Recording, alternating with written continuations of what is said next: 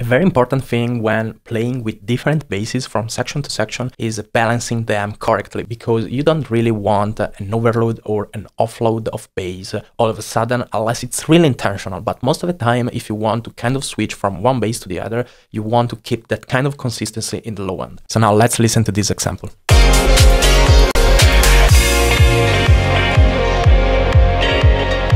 So you can see how balanced the two basses are and let's see how I manage the volume. So this is the bass group and I have the Moog which is the second one and this French bass which is the first one and it's the one playing in the drop.